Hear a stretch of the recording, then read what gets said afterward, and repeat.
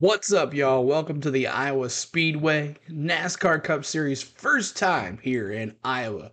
Now, the Iowa Speedway is located in Newton, Iowa, and it is the 17th stop on the NASCAR Cup Series schedule. Now, the Iowa Speedway is a 7th eighth of a mile oval track, and it opened in 2006, and it has hosted NASCAR and IndyCar series events. Now, NASCAR has owned this track though since 2019. The NASCAR Cup Series and the NASCAR Xfinity Series will be running their races this weekend. Now, the Craftsman Truck Series is off again. They'll be off next week and they'll return with everybody for the Ally 400 weekend in Nashville at the Nashville Super Speedway. Now, NASCAR Xfinity Series will run on Saturday, the Hy-Vee Perks 250 with a 250 laps, 250 miles. Now, the NASCAR Cup Series will run under the lights on Father's Day the Iowa Corn 350 powered by ethanol. Now 250 laps, 250 miles for that track. Now this track is a little different since the last time the NASCAR Xfinity Series was here. Iowa Speedway has gone through a major repave. And when I say major repave, not so much. Only half of a little bit of the track has been repaved. Yes, so these these races should be very interesting to watch. Could it be a single groove track? The bumps in the track, uh, how is this going to react to the tires? We'll see what happens. Now, all four turns had not had a repave since 2006, mainly from the hard winters uh, here in Iowa have really caused some damage to that pavement. Now, the Goodyear test was on May 28th. Some of your notable NASCAR Cup Series drivers, Kyle Larson, Brad Keselowski, uh, both were part of the test. There was a couple others as well, but uh, they'll be using the same tire combo in Sono- like Sonoma last week, so it should be interesting. But the surface of this track will be a huge, huge question mark for all the teams. So now let's get to the paint schemes. Here are the NASCAR Cup Series paint scheme and the NASCAR Xfinity paint scheme. And uh, when we come back, I'll let you know who my favorite paint scheme is and I'll recap Sonoma, a lot of great racing last weekend, and also we'll give you my picks on who is going to win this week. So here's the paint schemes. Let's check them out.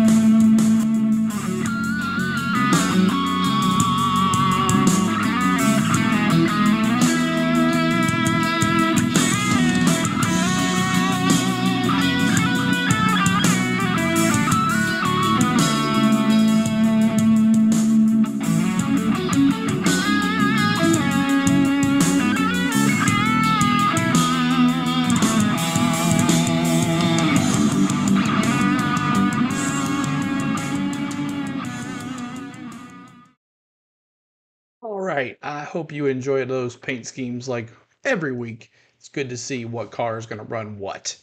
But uh, here's my favorite picks for the NASCAR Xfinity Series. I'm going to go with the 97, a popular driver in the last couple weeks for a lot of reasons. But uh, the, the Kubota Chevy SVG, is that a new sponsor? Looks like it. I don't remember him running that type of car all year. So congrats SVG. Back to back wins. Could he win on an oval here? This would be impressive if he could win three in a row. Now, for the NASCAR Cup Series, you got to go the 45 Tyler Reddick McDonald's Hamburglar Toyota. That looks pretty cool with the black and white stripes. That's awesome. So I like that one. Okay, so let's get a recap of the races last week. NASCAR Xfinity Series. Now, SVG started on the pole. Everybody was excited. We had friends from Australia, New Zealand watching, and uh, he won the very first stage. Looked pretty dominant. Ty Gibbs took the lead and won the second stage. Now, after a huge crash, Gibbs was taken out with some other notable drivers, but SVG set his sights to the front it came down to another restart with Austin Hill, SVG side by side, and SVG finally gets the revenge that was needed after COTA, I believe, where he, him and Austin Hill got into it, and Kyle Larson took the lead.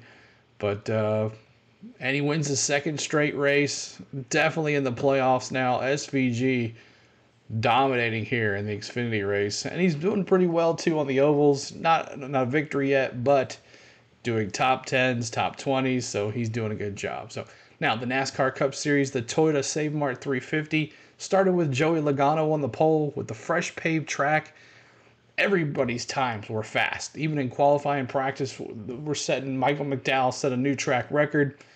Um, in the qualifying, my boy Denny blew up on the second lap. A lot of people were happy about that one but uh, and his day was done early. Now Tyler Reddick won the first stage. Chris Buescher won the second stage uh, after everyone pit trying to get up on the uh, second stage there. So Chris Buescher won that one. Now after the leaders pit, some drivers were off uh, sequences. This put Chris Buescher in the lead there at the end.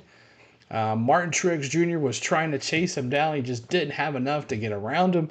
But the problem was that Kyle Larson was on the freshest tires of anybody.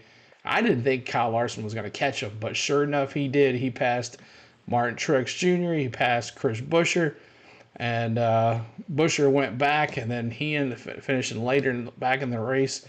Uh, but bad news Truex was looking for a top five finish, top two, going into turn 12, and he ran out of gas and he coasted across 27th place across the start finish line. Uh, bad, bad, bad luck there for Truex, but uh, he made it there, and the crowd was going wild when he passed the. So, congratulations, Kyle Larson, for winning, uh, coming back from the Indy stuff and all that stuff, and now he finally gets a victory. Kyle Larson with the win. So, great races last weekend. Now, so here are my picks to win this week: the NASCAR Xfinity Series, uh, the Hy-Vee Parks 250. Cole Custer is the points leader. Could he get a win here? Maybe. Allgaier? I don't know. We'll see what happens. Could the Dinger get a win? We'll see. Uh, but uh, could SVG get three in a row? I think Chandler Smith wins here. Uh, he won in Richmond, kind of a style this track, but not really. But I think Chandler Smith wins this race and uh, gets the victory. I'm going with Chandler Smith for the win. Now, NASCAR Cup Series, uh, the Iowa Corn 350 on Father's Day under the lights. It should be awesome. And on inaugural races, my boy Denny likes stuff like this. So I'm going Denny Hamlin. Uh, he finished last week, last place, DNF'd. You know he wants to make a big comeback here.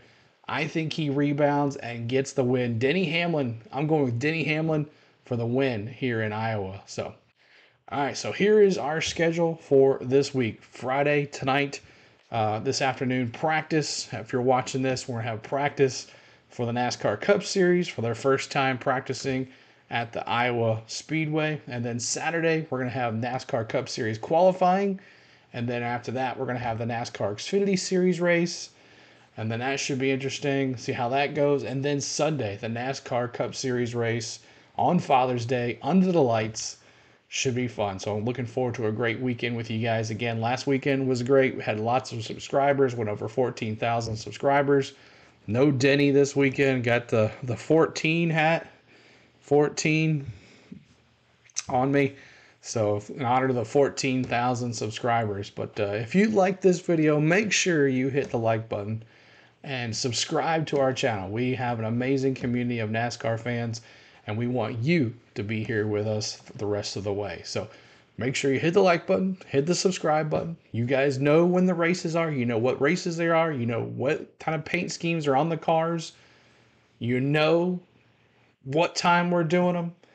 And all you got to do now is look for those notifications that go up when we go live. So if you see a stream up, make sure you hit a like button for us. And we're ready for this weekend in Iowa at the Iowa Speedway. Let's go!